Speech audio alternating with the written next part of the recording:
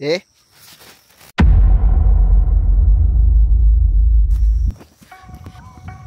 はい、ここはですね、みかんの苗木1年目のところですね。3月の中旬にみかんを植えて、今現在10月の8日、ま、10月の中旬ぐらいになってくるんですけども、ようやく気温が今、最高22、3度、最低がですね、17度ぐらいとなってます。だいぶ大きくなった。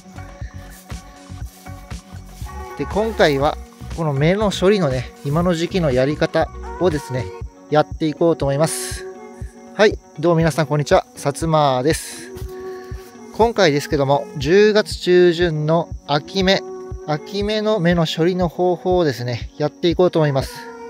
元から切るのか切り返すのか、まあ今ね、微妙なところなんですけども、これからあと20日ぐらいでね、緑化するやつは残して、もう11月頭ぐらいにはね、緑化完了するやつは残して、それ以外のやつは元からね、切っていこうと思います。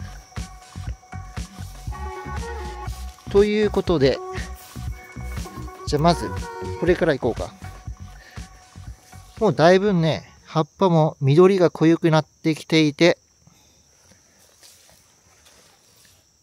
10月の8日だから、あと20日ぐらいでこれ多分緑化します。ですので、いつも通り摘心ですね。葉っぱ7枚から8枚、まあ6枚とかでもいいんですけど、残して、摘心をしていく。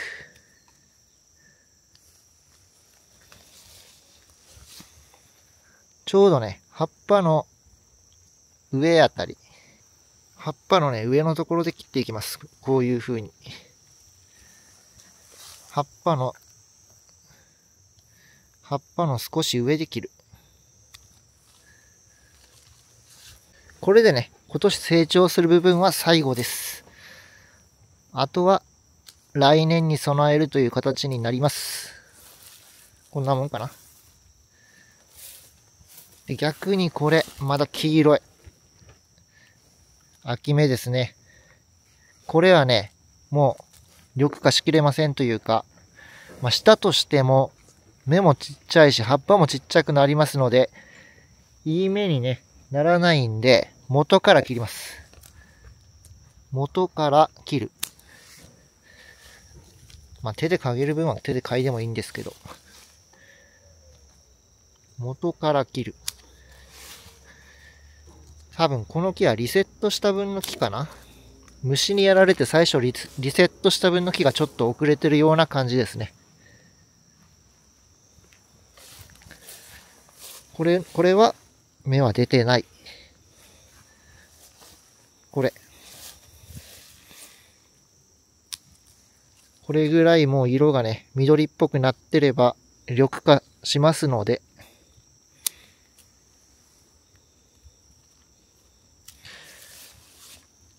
これ、アゲハの幼虫が死んでるんかな？ぽい。やっとね、やっとようやく今、雨が3日続けてぐらい降りましたけども、おかげで、草も元気出してね、ほら、梅雨草だらけ。もうこの梅雨草が強すぎる。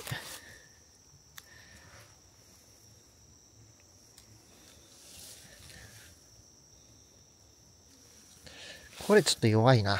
弱いから元から切ろうかな。元からと途中で切り返しと。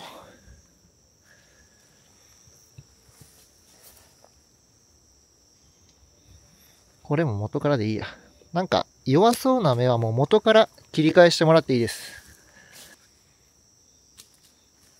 ね、こういう風にしっかりと強い目は、え、残してあげる。これもちょっと弱そうですね。元から取ります。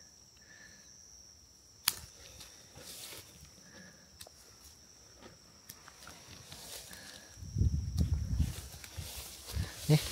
葉っぱは1、2、3、4、5。これ6枚。こんな感じではい、もうこれはもう完全に緑化しきれません。小さすぎる目が。ざっくり。取ってしまう。これも取ってしまう。で、今のね、時期にまだ肥料をやってない人は、すぐにね、肥料を与えてください。ああの、みかんがなってない木の場合はですね、暖かいうちに肥料をやらないと、みかんの木がね、肥料を吸い切れません。これも元から切る。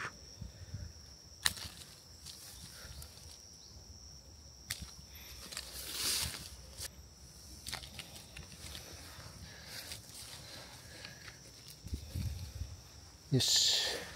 こういう感じで、あ、これも。色で判断できると思います。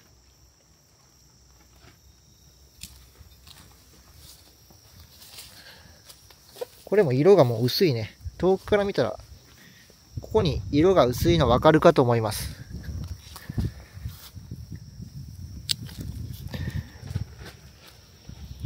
なるべくですね、切った後切った後がね、修復しやすいようにするためにハサミで切った方がいいですね。手で嗅いでしまうとちょっとボコボコになってしまいますので、これは残しとくか。これはもう明らかにもうすぐ緑化し終わりそうですので、葉っぱがね、明らかに大きさが違う時があるんですよ、これ。ここまではいいけど、こっから先が、ちょっと葉っぱが小さい時は大きいところまでで切り戻してあげる。これであと1、2、3、4、5、6、7、7枚残ってます。もう一個先か。よし。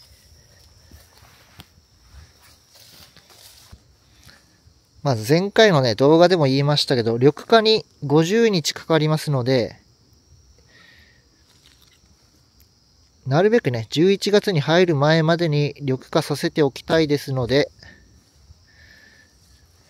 残りあと20日と、残り20日で緑化するやつだけをね、残していきます。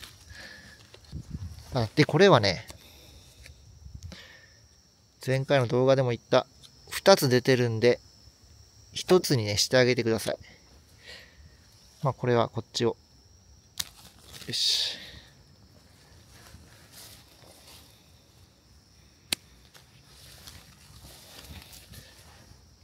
これはもう全部取っとっていいかな。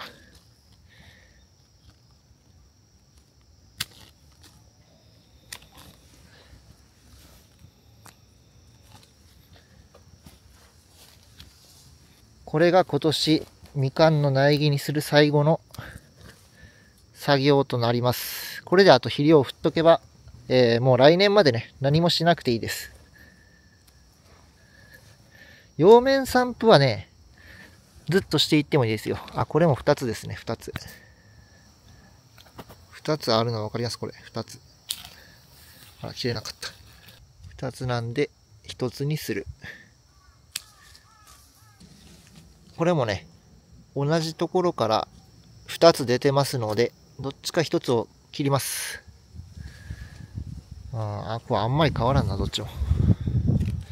こっちを切るか。よし。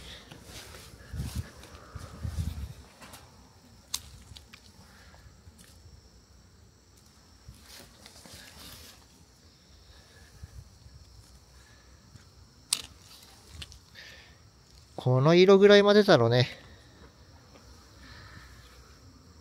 残していくのは。手でちぎるとね、こういう風に、手で嗅ぐとですね、こういう風にガジガジ、ガタガタになりますので、こうなっちゃうと、ちょっとね、修復しづらいというか、綺麗な形に修復できませんので、なるべくやっぱりハサミで切ってあげた方がいいです。こんな感じ。なんだおい。火事ですかね。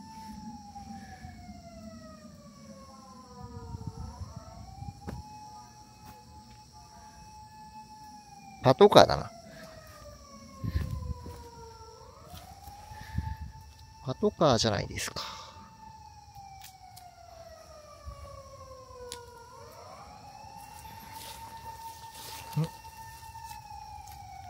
これも、お、近いぞ。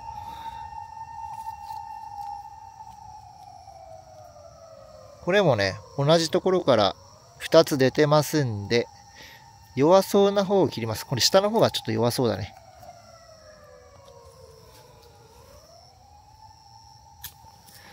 切って上を止める。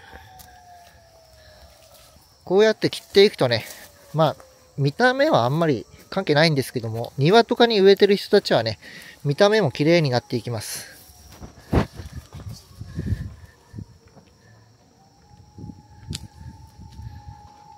ピロピロ伸びてるやつを切る。これはほら、これの場合は全部違うところから芽が出てるんで、このままですね。全部違うところから、節のところから1個ずつ出てる。まあ、大体、これぐらいまで気温が下がってくるとね、次の芽はもう出てきませんので、これが最後の手入れとなります。この後、ここにする管理は、今度ね、えー、ジベレリンというホルモン剤を散布します。まあ何のために散布するのかというとね、まだこれ来年、花をね、来させたくありませんので、ジベレリンというね、ホルモン剤を散布して、来年これに花が来るとですね、花を全部摘まないといけなくなりますので、時間もかかりますし、このみかんの苗木自体にね、花が咲くということはかなり力を使いますので、負担がかかってきます。それをさせないために、ジェベレリンというね、ホルモン剤を10月の中旬、もうこれがね、あとね、どれぐらいかな。あと10日もしないうちにね、かけたいと思います。みかんの花芽、花というのはもうこの時期にね、すでに決まってきてますので、11月にジベレリンをかけてもね、ちょっと間に合いません。過去のね、そういう事例を撮った動画もありますんで、おそらく多分ね、探せばあると思いますんで、次回のね、動画で、えー、それを出したいと思います。まあ、ジベレリンの効果とかね、いつかけたらどうなるかというのをですね、次回の動画で出したいと思いますので、まあ、ぜひね、チャンネル登録よろしくお願いいたします。まあ、植えた時の状態は、ここから、ここで、ここで切ってますけども、ここからここまでが植えた時の状態ですね。そこから、春芽が出てきて、で、ここに夏芽ですね。からの、今出てきてるやつが秋芽。ね。ここから秋芽が出てきてこんな感じになってます。1年でね、しっかり手入れをするとこれだけ大きくなりますので、まあ、地域と場所にもよりますけども、秋芽までしっかり育ててあげると、結構ね、木自体は大きくなっていきます。レモンの鉢植えなんてね、今めちゃくちゃ小さいですからね、2年目なんですけど。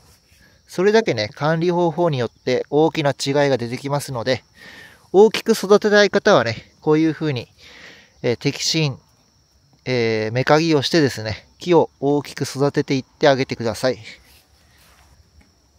ここまではまず順調。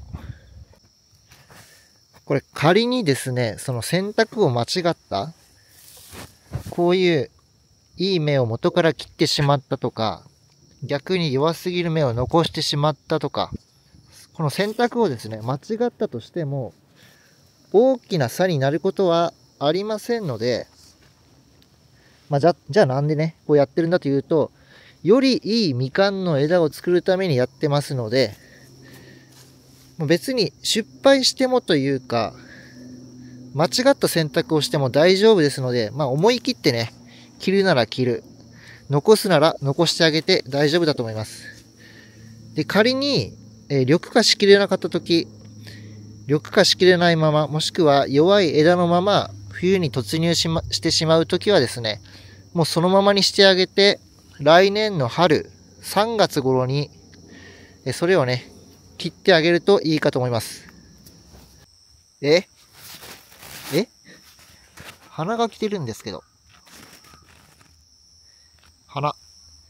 綺麗なみかんの花が来てます。けどもこれはもう元から切るしかない。秋目に花がすでに来ているってこれなんかちょっと珍しいですよ。まあ、こんな感じでね、来年花が来ますので、ジベレリンをね、かけます。よし、これで終わり。はい。まあ見た感じ、黄色い目も、長くひょろひょろした目も、全部なくなりました。こんな感じで、しっかりと緑化ができそうな目だけを残してね、あとは全部切除しております。はい。ということで今回、まず肥料をやってくださいということと、秋芽の処理ですね。この2つをしっかりやってれば、来年ね、しっかりとしたみかんの苗木ができますので、ぜひね、参考にされてみてください。はい、以上、さつまでした。バイバーイ。